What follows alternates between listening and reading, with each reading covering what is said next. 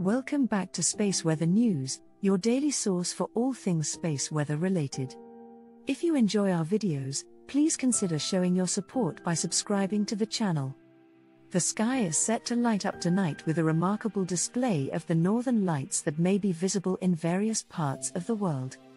A powerful solar flare that erupted from the sun has triggered a geomagnetic storm, which is expected to create an incredible aurora borealis. The storm is predicted to be visible in the north of the UK and the northern parts of the United States, as long as the skies are clear. If you're lucky enough to be in these regions, make sure to keep your eyes peeled and witness this magnificent natural light show. The aurora doesn't have to be directly overhead to be spotted and can be seen from up to 1,000 kilometers away if the conditions are favorable. The US Space Weather Prediction Center is forecasting a moderate geomagnetic storm, which can potentially affect high latitude power systems and spacecraft operations. However, these types of storms are usually harmless and pose no significant danger to us.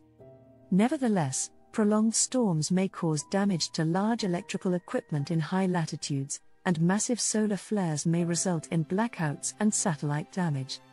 So, Head outside tonight and gaze at the sky, for the northern lights are waiting to put on an extraordinary show. Thank you for watching this video on the upcoming Northern Lights display. If you enjoyed learning about this natural phenomenon and the science behind it, please consider subscribing to our channel for more exciting content.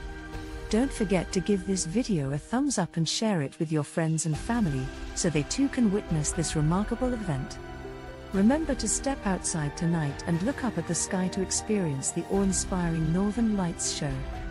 Thank you for your support, and we hope you have a fantastic time watching the Aurora Borealis.